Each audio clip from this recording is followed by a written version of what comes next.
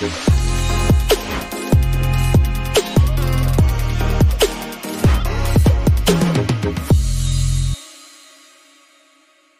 there, curious minds.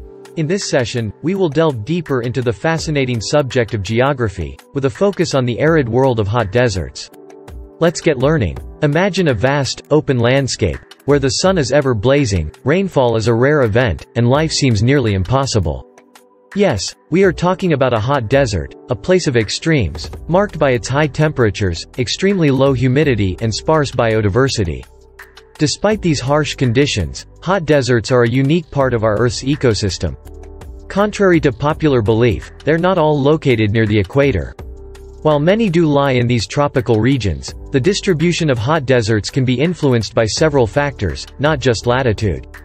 So next time you think of a desert, don't just look towards the equator, look at the world as a whole. What shapes these scorching landscapes, you ask? Well, two primary factors play a significant role. One is the prevailing wind patterns, and the other is something called the rain-shadow effect. Prevailing wind patterns can lead to the formation of deserts when they consistently move moist air away from a particular region. On the other hand, the rain-shadow effect occurs when a large mountain range prevents moisture-laden winds from reaching a region, leaving it dry and, over time, transforming it into a desert. Now let's touch upon the soils of these deserts.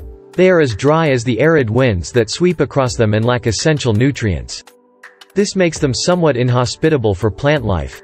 But don't be mistaken, these soils also tell a story of adaptation and survival against all odds.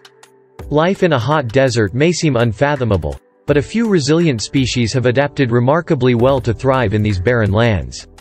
One such notable creature is the dromedary camel, also known as the Arabian camel. With its ability to go without water for days, it's a real-life desert survivor. Then we have the iconic saguaro cactus, with its tall frame and arm-like branches reaching out towards the sky, storing water to endure the desert's relentless heat. Also inhabiting these lands are desert tortoises, their hard shells acting as personal mini-habitats, and scarab beetles, rolling their precious dung balls across the scorching sands.